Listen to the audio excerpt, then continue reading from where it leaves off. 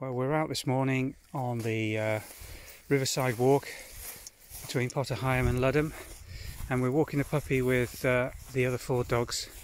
It's very important when you've got a young puppy to use the first couple of weeks when it's vaccinated and safe to do so to walk it with other sociable dogs to get it used to other dogs.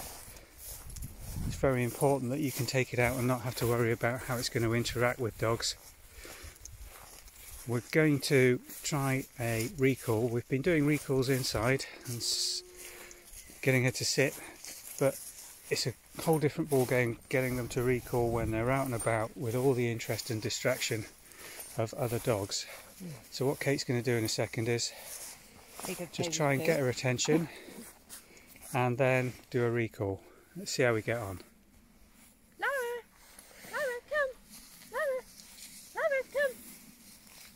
Good girl. Good girl. Good girl. Good girl, Pops. Good girl. And she's learning here the other behaviour of the dogs. She's still got that jumping up, which can be a bit of an issue. We're trying to ignore that, and if she goes into a sit, we'll reinforce that with further treats. But you can just see how distractible a puppy is. The other dogs know exactly what's expected of them.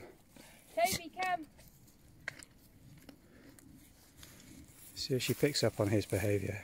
Good boy. No, completely distractible again. So that's going to take a bit of work. Need to work this several times, different intervals, try and get her attention. Good girl. Good girl. Good, and straight into a sit. Brilliant. So she reinforces that really strongly. Lovely. That was good. So you've just got to repeat that behaviour and opportunistically, when she does the right behaviour, really, really go overboard with the praise, and gradually she should get that behaviour as a fixed behavioural pattern. Brilliant.